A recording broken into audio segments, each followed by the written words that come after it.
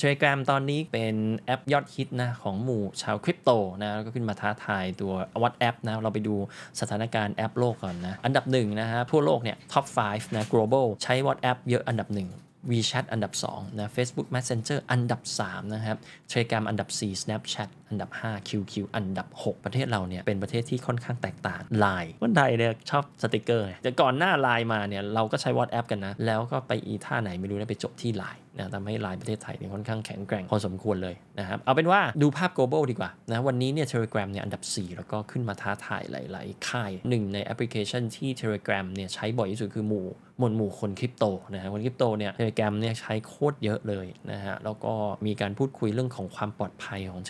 Telegram นะว่ามันมีมากกว่าที่อื่น Encrypt อะไรก็ว่าไป หลังจากนั้นเนี่ยมันมีความพยายามในการทำ Telegram เป็น super app นะ super app ก็คล้ายๆกับ WeChat นะที่เราสามารถโอนเงินได้ มีกระเป๋าตังค์อยู่ใน Telegram เป็นลิงก์กับ Stablecoin ดีไหมอะไรแบบนี้เพราะว่าในหมวดหมู่คนคริปโตก็ใช้ Telegram อยู่แล้วนะฮะก็มีความคิดที่จะทำอย่างนั้นฮะในการทำ super app นะเพื่อนๆคิดยังไงกับ Telegram จะเป็น super app นะคอมเมนต์ผมเลยนะถ้า Telegram จะทำ super app นะ Telegram ช่วยทำ scam detection ก่อนไหมนะทุกวันนี้นะถ้าเราพวกเราเนี่ยจะไม่อยากเข้า Telegram เลยนะก็เพราะว่ามันมี message scam เยอะมากนะฮะคุณแค่เข้าไปใน community เหรียญใดเหรียญหนึ่งเนี่ยถึงขั้นอิบอายเลยนะ มันแบบเรื่องเรื่องเรื่องทั้งวันอะแล้วมันมี message scam โอ้โคตรเยอะนะฮะนอกเหนือจากนี้เนี่ยมันยังมีเรื่องของมิจฉาชีพนะที่ส่งลิงก์มา ถ้ามันลิงก์กับกระเป๋าตังอะไรสะดวกสบายง่ายขนาดนั้นเนี่ยมันมีสิทธิ์อิบหายได้เหมือนกันนะกดแล้วหายเลยนะตังค์อะไอเนี่ยคือสิ่งที่ Telegram จะต้องแก้ไขก่อนเปล่าวะ